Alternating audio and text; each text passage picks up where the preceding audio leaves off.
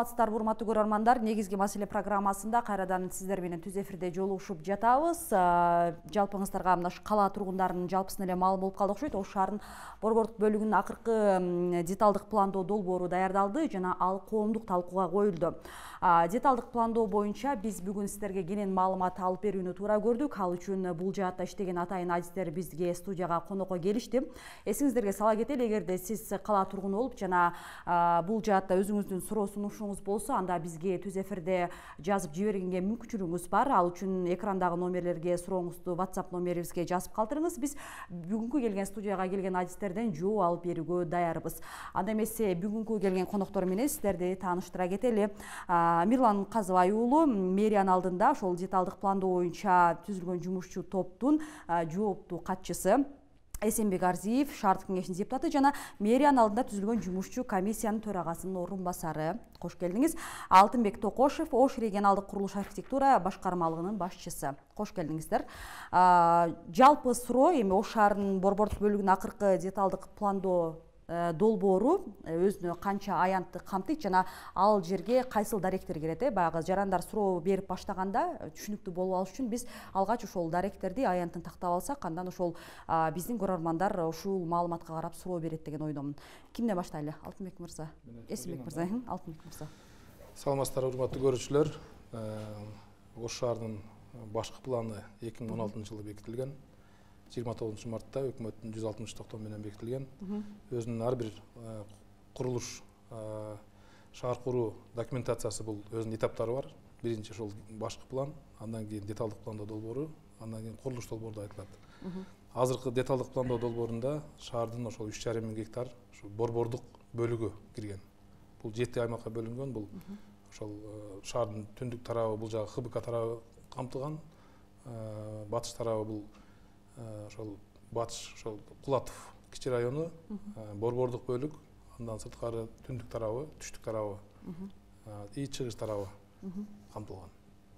Негизи ошол баягы аянтын айтып өттүңүз анан калктын санын эске алганда ушул ош шаарынын борбордук бөлүгүнүн аянтын эске алганда мындай деталдык планда азыркы көрүнүштөн эмне өзгөчөлүктөр болот?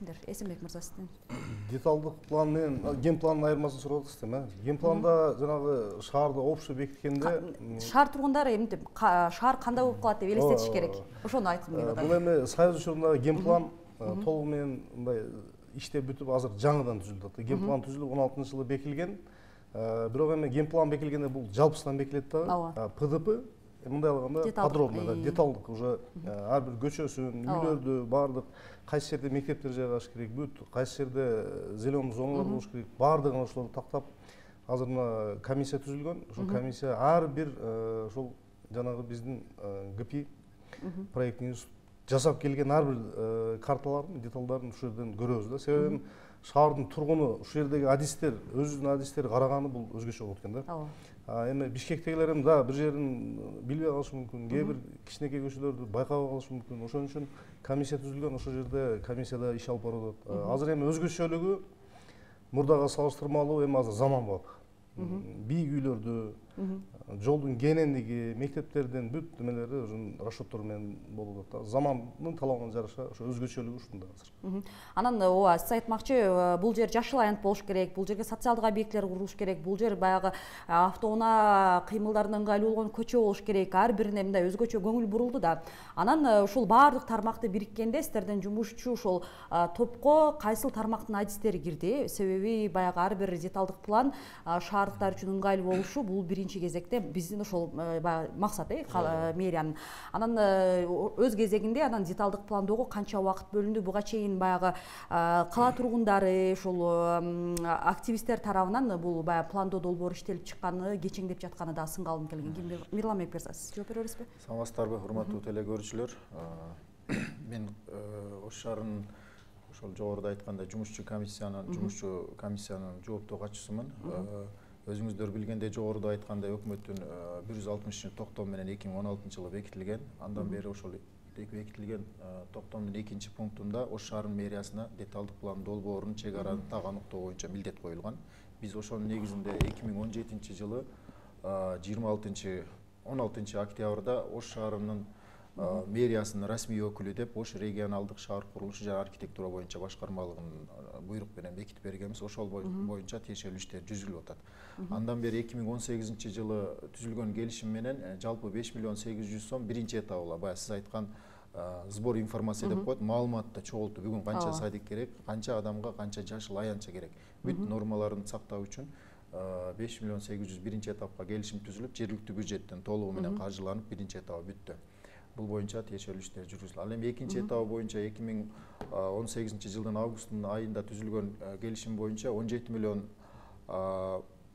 он жети миллионго келишим түзүлгөн болсо бүгүнкү күнгө чейин жалпы он беш миллион акча каражаты бөлүндү бөлүнүп берилди дагы эле эки миллион тогуз жүз акча каражаты калды бул акча каражаты азыркы күндө коомдук жогоруда айткандай коомдук ууда эки ай турат онунчу февралдан онунчу апрелге чейин онунчу апрелде коомдук угуу талкуу бүткөндөн кийин сунуштар бүткөндөн кийин анда кеңейтилген коомдук угуу коюлгондон кийин калган акча которулуп берилет негизинен тиешелүү иштер эле жогоруда айткандай жумушчу комиссия түзүлгөн бул чоң комиссия анан кичине комиссия деп бөлүнөт ооба чоң комиссияда комиссиянын төрагасы жасур махмудович азимов кичине жумушчу топтун жооптуу комиссиянын төрагасы мен. Буга чейин чоң комиссия жалпы отуз бир жолу жыйын өткөрүлүп тиешелүү жогоруда депутатыбыз айткандай комиссиялар ар бирине протоколдук чечимдер кабыл алып шаардын деңгээлинде иштер жүргүздү. Негизинен жумушчу топко кимдер кирди шаардык көз карандысыз архитекторлор кирилди. Шаарда бул көп жылдан бери иштеп келген көп жылдык неме тажрыйбасы барлар кирди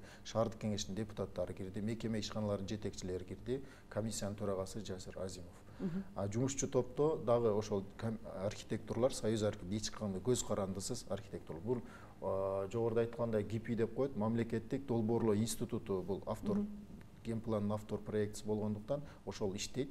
Ошонун иштегенин биз жергиликтүү деңгээлде биз жеринде карап туруп анан на место иштегенибиз жакшы болуп атат көп пайдасы тийип атат ушул анан эки ай бою коомдук талкууда болот деп атасыз өз кезегинде ушул жерден баягы биздин көрөрмандарга толук кандуу маалымат берип коелу да. Алар ошол деталдык пландоо боюнча маалыматтарды кайсыл ошол интернет сайттардан же басылмадан ала алышат ошол боюнча маалымат толук тапкан соң алтынчы февралда атайын жумушчу комиссиянын отуз биринчи протоколдо чечим кабыл алып биз баардыгын жактырылып ошол аймактарга бөлүнгөндүн баардыгын жактырылып анан коомдук угуу боюнча чечим кабыл алынып онунчу февралдан онунчу апрелге чейин массалык маалымат каражаттарына берилдик бул биринчи өз кезегинде ош шаарынын мэриясынын ош шаардык кеңешинин архитектура башкармалыгынын мамлекеттик долбоорлоо институтунун госстройдун бүт баардык сайттарда массалык маалымат каражаттарына берилди. Бул менен эле чектелбестен мына сиздер аркылуу дагы түз эфирге кайрылып атабыз. Андан сырткары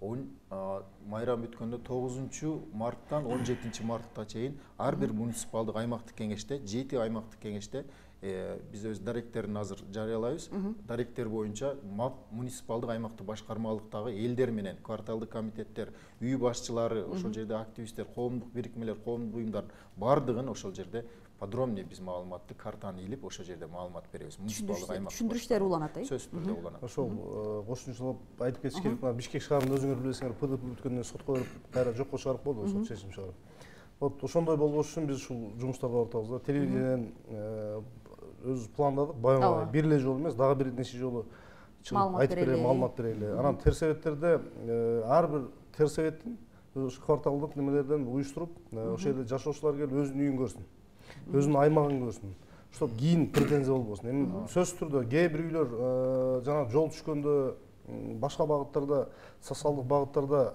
үйлөр бузулушу мүмкүн ооба. Бирок жарандар ошону да түз кабыл алыш керек. Ал үйлөрдү эч ким жөндөн жөн барып бузуп салбайт.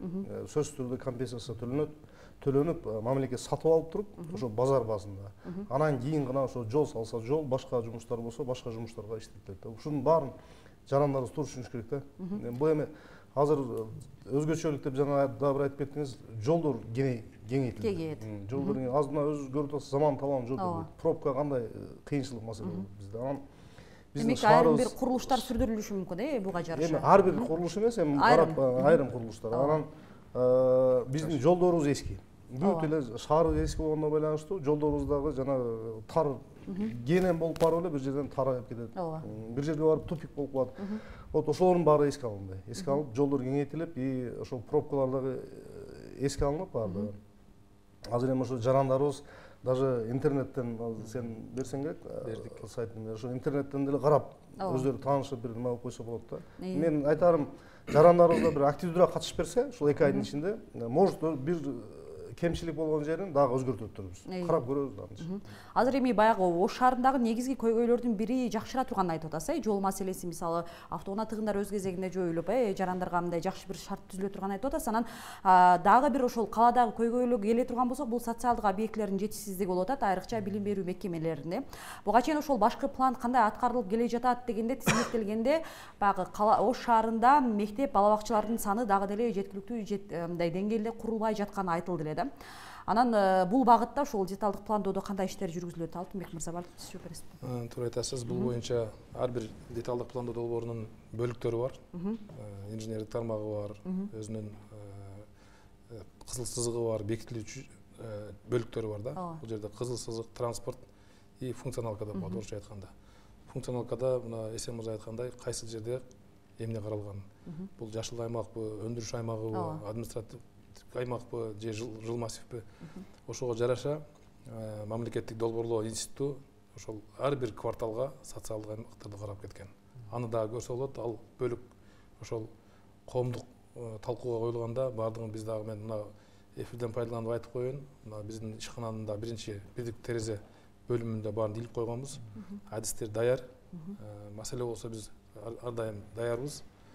Ошондуктан мына эфирден пайдаланып айткым келет ошол келип өздөрүнүн эсен мырза айткандай өздөрүнүн үйүн же болбосо ошо жайгашкан аймагын кандай өнүгөт и кайсыл жерде социалдык объект каралат баардыгы камтылган эсенбек мырза сиз дагы жооп берип атасызбы эл өкүлү катары эми баягы көйгөйлөр сиздерге келет көбүнчө көйгөй азыр мына бала бакча боюнча жыйырма сегиз гана пайыз биз камсыз кылганбыз да. Ооба бунун негизги себеби жана союз тарабынан биздин бала бакчалар бүт башка тармактарга өтүп кеткен. Ош шаарында кырк төрт буга чейин ушу какчалап айтып жүрөбүз кырк төрт бала бакча университеттин больницанын центр милиция ошол ошонун военныйлардын бир лаборатория ошондой ошондой болуп.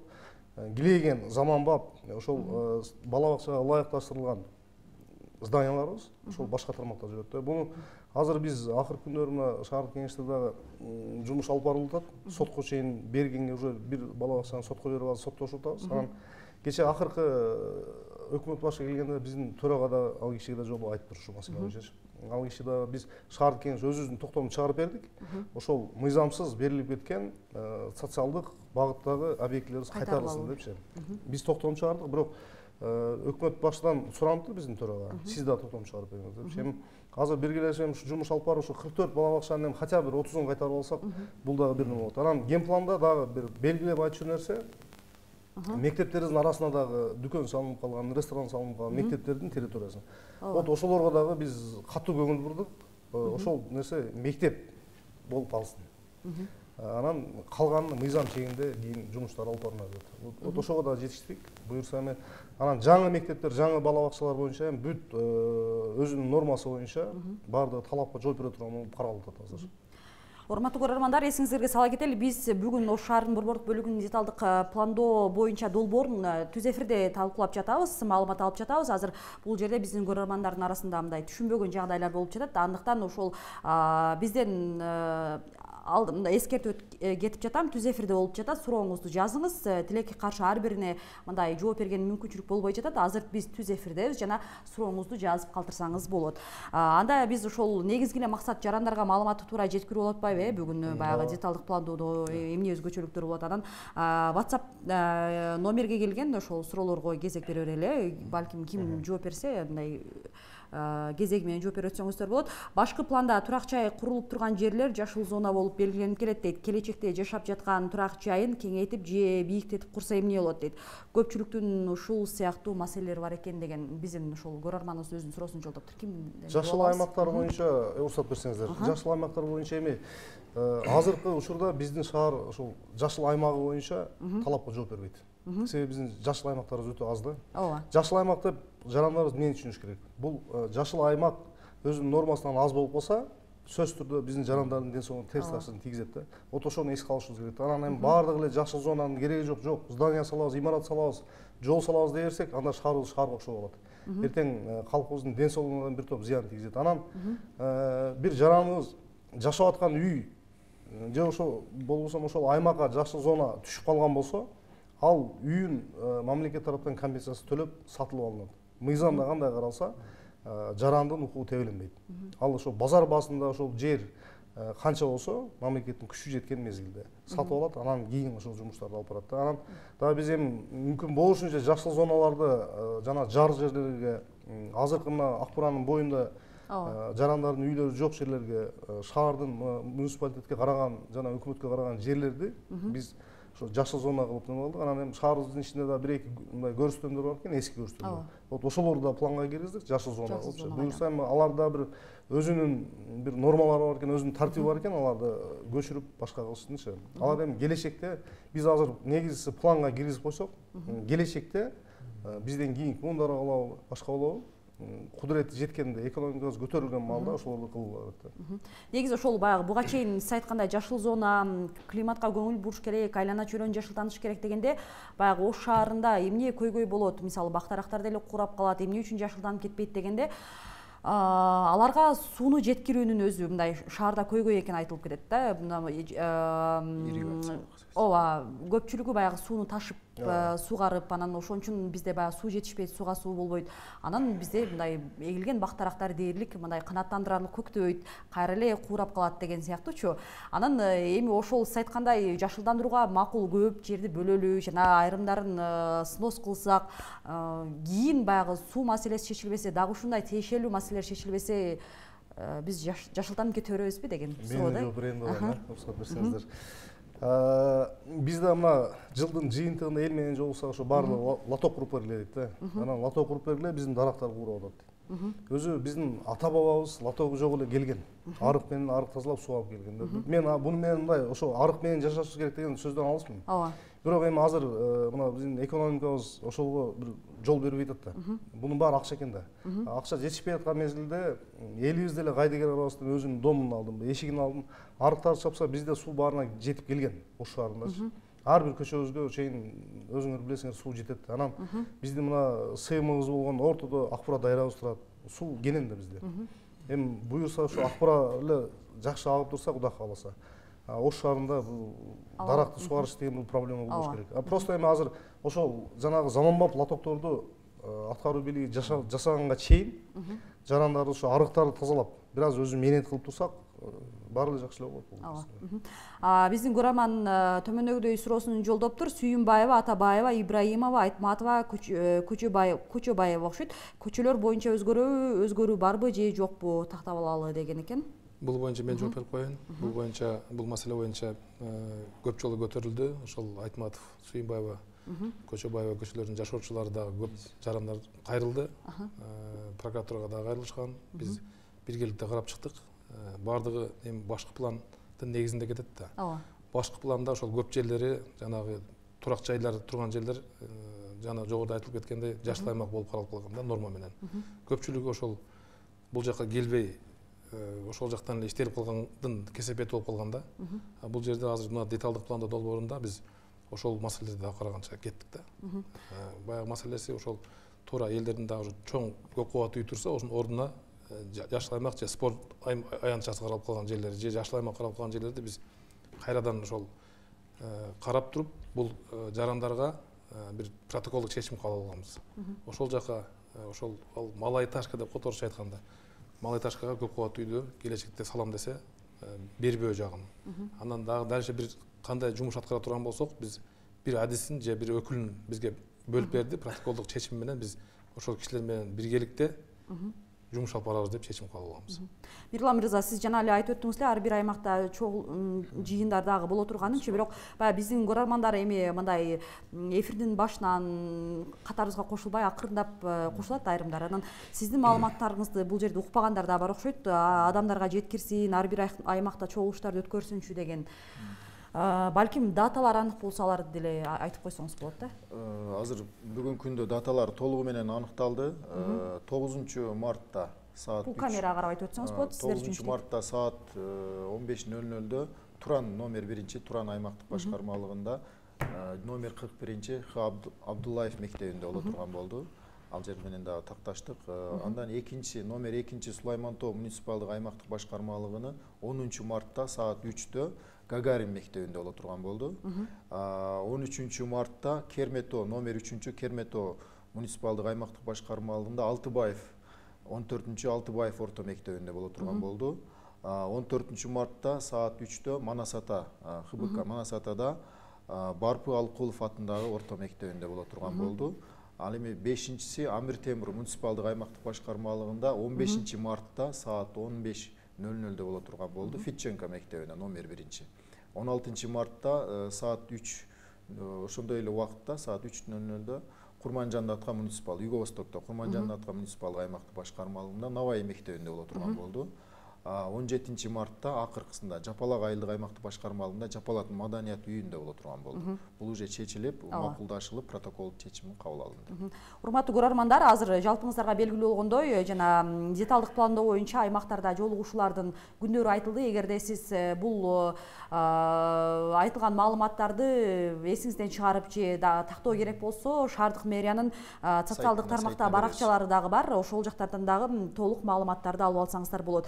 Анан биз кезектеги суроого суроону жеткире берели ош шаарынын геологдор шаарчасындагы каналдын алдыңкы бөлүгү атабаева көчөсүндөгү жашоочуларды тынчсызданткан маселе былтыр пайда болгон дейт үйлөр бузулат жашыл зона болот деген айтылган ушул чынбы деп. Ким жооп берет уруксат берсеңиз мен барып былтыр жолугуп бергеним ошо чучулар бул жерде жана алтын айтып өтпөдү генпланда зеленый зона болуп каралып калган генпланда бизде мүчүлүштөр өтө көп вот ошону эске алып ошондой мүчүлүштөр кайталанбасын деп биз мына комиссия эки катар комиссия жогорку комиссия жана ылдыйкы комиссия кылып атайын ушул биз өзүбүздөн ушул жерде кайдыгер эмес архитекторлордун баарынан чогултуп ошолор менен аксакалдар бар арасында буга чейин иштегендер бар. Ошолор менен чогуу иш алып барып атабыз анан бирок ошол жана сиз айткан даректерде зеленый зона болуп кирип калган. Бирок азыр пдпда үч жарым миң гектар жер калганына байланыштуу ал жерлер пдпга кирген жок да кирген эмес кийинки этапта сөзсүз ошо пдпга киргенде ал жерлер каралат өзгөрүлөт буюрса өзгөрүлөт ага кызалат болбош керек. Мен ошо элге да барып түшүндүрүп айтканмын келечекте силердикине өзгөртөбүз но бирок шаардыктарга бир нерсени түшүндүрүп коюш керек. Шаар болгондон кийин шаарда жер үй деген түшүнүк көп деле мындай кызыктыра бербеш керек да шаар болгондон кийин бүт бийик кабат үйлөр салынат келечекте баардыгыначы бул эми жылдарды өтүп боло турган нерсе анан бирок жанагындай мүчүлүштүктөрдү келип азыр деле ошо айтса айтып ушул жанагы эл менен жолугууларда келип жаздырып койсо анда кийинки этаптарда карап коебуз толуктоолор болсо толуктуу айтып коеюн ошол. Эми баягы уруксат берүүчү орган катары бизге келип көбү баягы кээде нааразычылык пайда болот да жана жашыл аймак деп неме кылсак эле ошол нааразычылык болуп калып атат да эми ал ош шаарынын башкы планы өкмөттүн токтому менен бекитилгенден кийин биз ошону ишке ашыра турган органбыз да. Аны биз буза албайбыз да ошондуктан ал жерде ошол деталдык пландоо долбоорунун стадиясында оңдоп кетип атабыз элдердин анча сурап талаптарын но мыйзамга ылайыктап баягы жашыл зонасынын нормасы менен карап ал эми сырткаркы жерлер боюнча кийинки этапты аракет кылабыз буюрса ошол ошол жерде гана каралат да. Ага чейин жашап турушат алардын эч кандай правосын эч ким бузбайт да.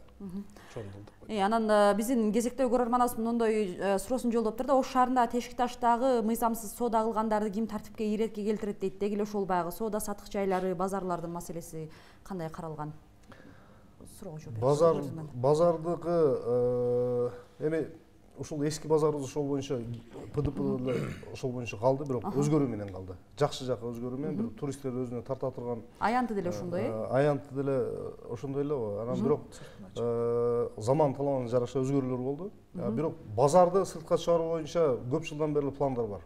Азыр эми мына машина базарынын жанында жерлер бар эле ошолор азыр мыйзамдашып кетип атат. Бирок ал жакты деле мындай алып карасаң азыр базарды ал жака чыгарсаң пробка өтө көбөйүп кеткендей ошого эми дагы жумуштар алып барылып атат. Бул боюнча базарларды сыртка алып чыгуу шаардын сыртына алып чыгуу боюнча жумуштар кетип атат. Азыр эми бирок азыр толук мондой деп айтканга калсак бир аз эртерээк да анан кудайберди унаа базарычы деген суроосун жолдошуптур да. Кыскача эле жолдоп койгон окшойт балким түшүнүктүү болуп окшойт ал маселе базардын маселеси эмне болот? Балким жок болуп кетпейби же жылып кетпейби деген сыяктуу суроосун жолдогон окшойт толуктап койсом болобу ушул боюнча.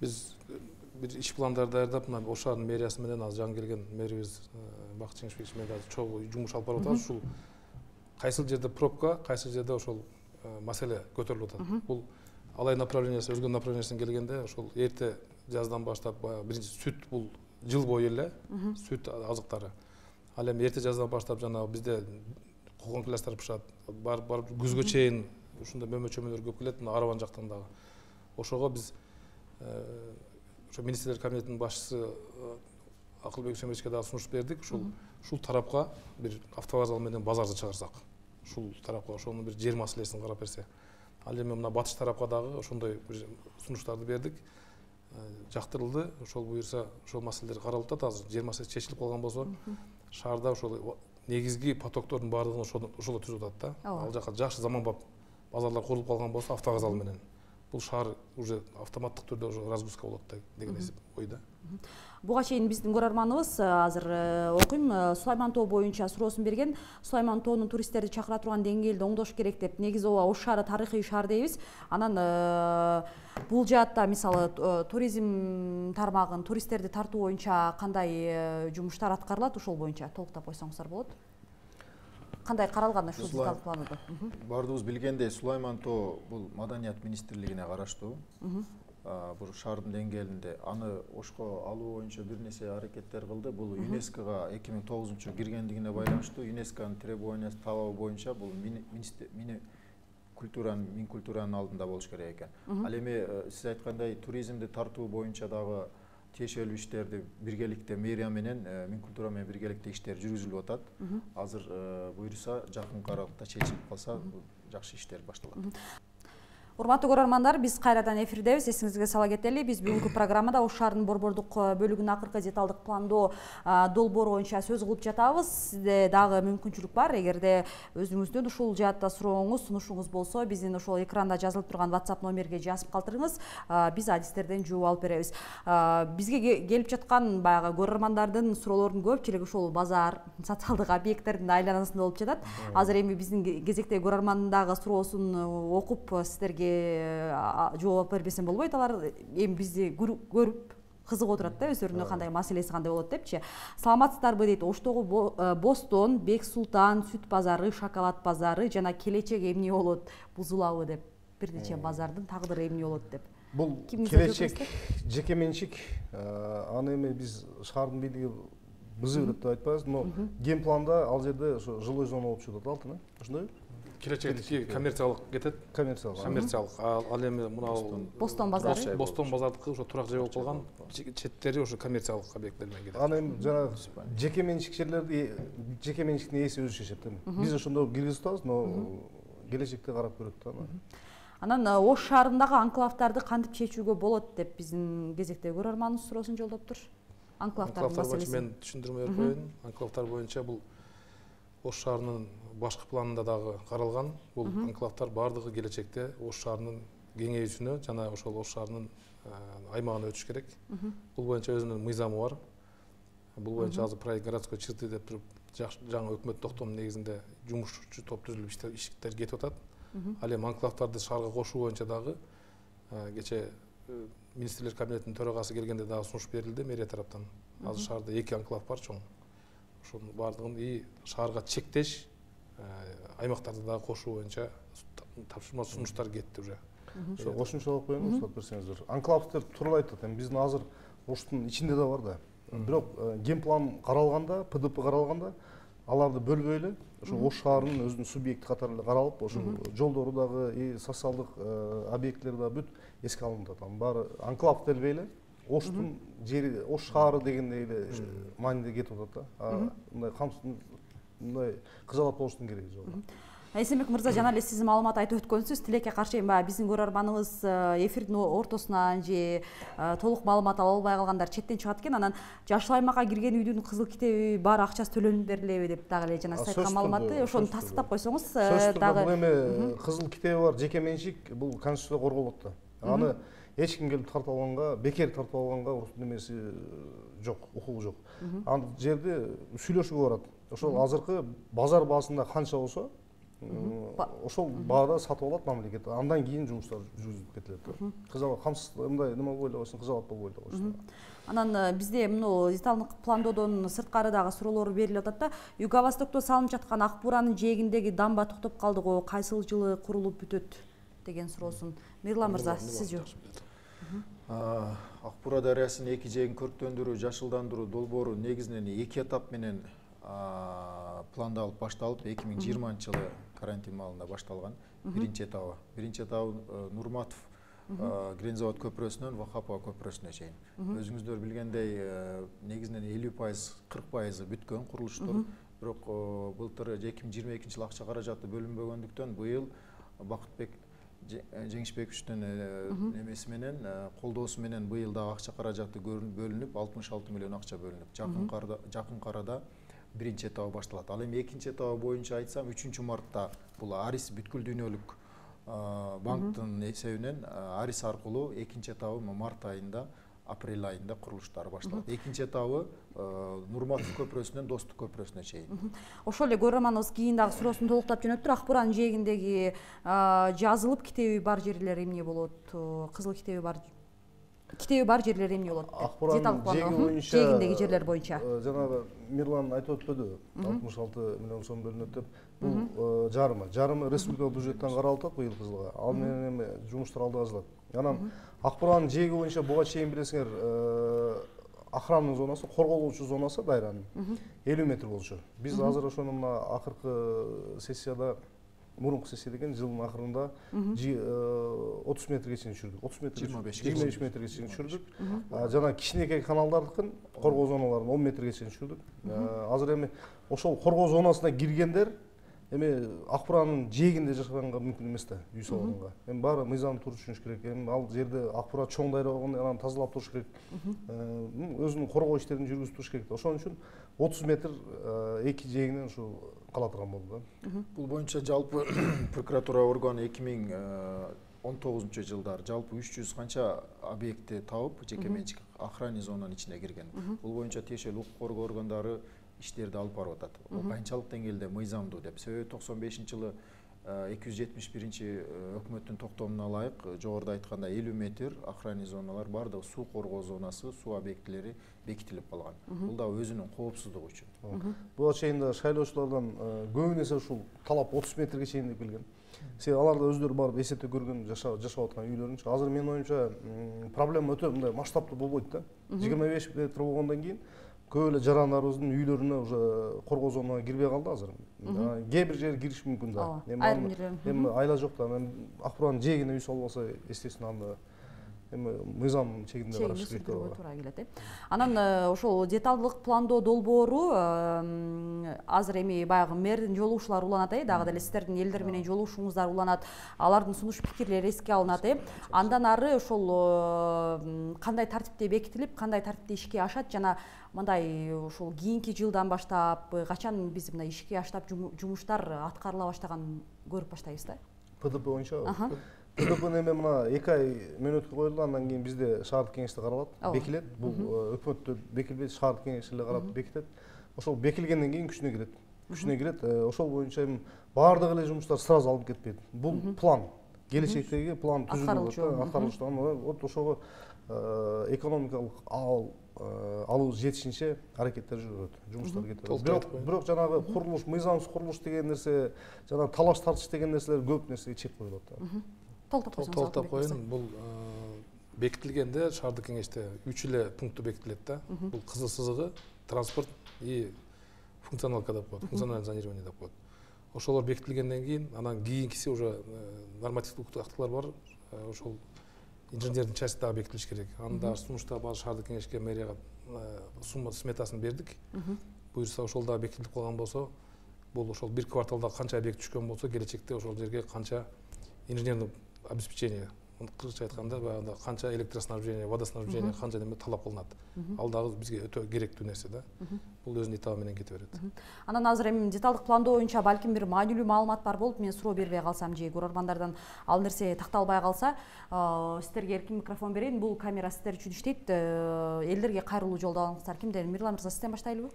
Негизинен бүгүнкү түз сегиз миң эки жүз элүү беш гектар жер болсо шаардын аймагы биз болгону пдп деталдык пландоо долбоору үч жарым миң гектар жерди гана түзөт жарандар баардык ушуну туура түшүнүш керек элдерчи кабыл албаш керек мисалы азыр айталбаев эмеде үч жарым гектар жердин аймагынын ичинде каралган объектилер боюнча. Үч жарым миң гектар жердин объектилер боюнча үч жүз алтымыш миң адамга ылайыкташтырылып бүгүнкү күндө информациялар аныкталды бул жерде ошого жараша садик мектеп социалдык объектилер курулат анан социалдык объектилер боюнча айтып коюшубуз керек биз жетинчи жетинчи протоколдук чечимде биз жазганбыз социалдык объектилер мурда социалдык болуу объектилер объектилердин номер один деп бекитилсин эч кандай баягындай турак жай баягындай болбосун депчи биз ошол негизинде эле кармалып номер один деп социалдык объектилерди биз ошондо камтып койдук биз ошол талап менен эле мамлекеттик долбоорлуу институтуна тапшырма бергенбиз социалдык объектилер социалдык объектилер боюнча калат эми экинчи азыр коомдук угууда сунуш бергениңиздерде биз сунуштарды жумушчу топ карап чогултуп чыгабыз. Өзүбүз иликтейбиз баягы үч жарым миң гектар жерден сырткарысын алып салабыз. Үч жарым миң гектар жердин ичиндегисин карап туруп анан биз чоң комиссияга сунуштайбыз. Чоң комиссиянын протокол чечимин кабыл алып туруп мамлекеттик институтка беребиз. Алар дагы олар эми адистер да. Нормаларды карап туруп эми баардыгы кабыл алат дегенден алыс болушубуз керек да. Мисалы он сунуш берсе анын тогузу кабыл алып бирөө кабыл албашы мүмкүн же наоборот болушу мүмкүн. Тогуз суроо кабыл алынбай бир эле сунушу кабыл алынып калышы мүмкүн ошондой деген менин сунушум кабыл алынбады деп эртең баягындай болбош үчүн биз адистер менен нормалар талаптар менен биргеликте кабыл алынып анан жогоруда айткандай шаардык кеңеште бекитип алгандан кийин ушул норма менен иш алып барабыз. Менин кыскача немем ошол анан ушул муниципалдык аймактык башкармалыгында боло турган жолугушууга дагы активдүү катышып суроо талаптарыңыздарды берүүгө мына үч учурдан пайдаланып чакырып кетем эсенбек мырза менин деле кайрылуум ушул негизинен мына мирлан айтып өттү үч жарым миң гектарга үч жүз алтымыш миң адамдын эсебин алып жасалып атат бул негизги нерсе да себеби буга чейин дагы биздин шайлоочулар да кайрылды кээ бирөө фейсбуктардан жазып атат ош шаарынын ген планы пдпсы үч жүз алтымыш миң эле адамга жок андай эмес ооба бул бир чети гана келечекте дагы миллиондон ашып кетет биздин шаардын жашоочуларынын саны ошого план негизделет анан мен баса белгилеп айта кетчү нерсе бишкек шаарында ушу канча мээнет кылып ушул пдпны ген планды иштеп чыккандан кийин аны кээ бир жарандар кээ бир баягындай эмпошниктер деп коебузбу укук коргоочулар деп коебузбу алар сотко берип ошол мээнетти жокко чыгарды да ал жерде бүт шаар боюнча пдпны жокко чыгарыштын кереги жок болчу. Ошол бир гана аймак боюнча. Вот ошон үчүн биз дагы мына телевидениеге чыгып элдер менен көбүрөөк ушул маалымат жеткизе эле ушул жумуштарга барып атабыз. Эл дагы кайдыгер карабастан ошол жанагы укук коргоочулар эмпошниктер баардыгы азыр ушул келип аралашса өзүнүн бир претензиясын айтса жанагы мирлан айткандай мыйзам чегинде жана снип бар өзүнүн нормалары бар. Мен айтпадым жанагындай дара болуп калса адамдын ден соолугуна зыян жол тар болуп калса пробка болот вот ушул нормаларга карап туруп мүмкүнчүлүк болушунча өзгөртүүгө аракет кылабыз анан кайдыгер карабастан баардыгы ушул кирип өзүнүн активдүү ой пикирин берсе? Өзүнүн активдүү катышып ушу өзүнүн эч болбодо эми өзүнүн аймагын жашаган жерлериндеги нерселерге бир аз кайдыгер карабай аракет кылса эртең соттошуп жанагындай терс көйгөйлөр жаралбайт көйгөйлөр жаралбайт жакшы болот эле менин айтарым ушул рахмат. Алтынбек мырза. Мен эфирден пайдаланып айтып коеюн азыр архитектура органына ошол уруксат берүүчү орган катары көбү бизге келип кайрылат көбүнчө контакт бизде да ошондуктан мына бизде курманбек атка эки жүз кырк төрт а дарегиндеги биздин ишкананын биринчи ошол бир терезе бөлүмүндө киргенде сол жакта биринчи кабатында баардыгын илип койгонбуз. Суроолор болсо биз ушул ошон үчүн ушундай эфирге чыгып атабыз чтоб кийин кеч болуп калбаш керек да. Ар бир өзү кызыктар болуп карап ал эми биз маптар менен муниципалдык аймактык башкармалыктар менен ар бир адисти байлап бердик план бекитип бердик. Ошолор аркылуу дагы кварталдык комитеттер домкомдор аркылуу дагы себеби бизде ар бир аймакка бирден экиден адистер бөлүнгөн. Ошолор менен дагы бир маалымат алсаңыздар болот. Ошону айтып коеюн дегем рахмат. Урматтуу көрөрмандар эми баягы бизге whatsapp номерге бир нече суроолор келди бирок сиздерге айтып коеюн дегем алардын ичинен баягы ош облусунун аймагынан жазгандар болду анан жерге төлөгөн акчабызды кайтара албай атабыз жерибизди ала албай атабыз деген болду анан бул жерде бир көрөрманыбыз жазыптыр эмне үчүн баягы жолдун четине суу чачпай атасыңар дегендер болду анан ак буранын жээгине эс алуучу жайларын курсак болобу деген эми баягы азыркы бүгүнкү темага байланышпаган суроолор болуп калды ошондуктан баягы темага байланыштуу суроолорду берип биздин көрөрмандардын ошол суроолоруна жооп алып берүүгө маалымат берүүгө аракет жасадык урматтуу көрөрмандар бизге бөлүнгөн убакыт өз соңуна келип жатат. Эсиңиздерге сала кетели биз бүгүн ош шаарынын борбордук бөлүгүнүн акыркы деталдык пландоо долбоору боюнча сиздерге азын азын олок болсо дагы маалымат берген аракет жасадык. Эсиңиздерге сала кетели сизде дагы деле мүмкүнчүлүк бар. Азыркы учурда аталган долбоор коомдук талкууда эгерде өзүңүз жашаган аймак боюнча кайсы бир маселени тактап же өзүңүздүн сунуштарыңыз бар болсо анда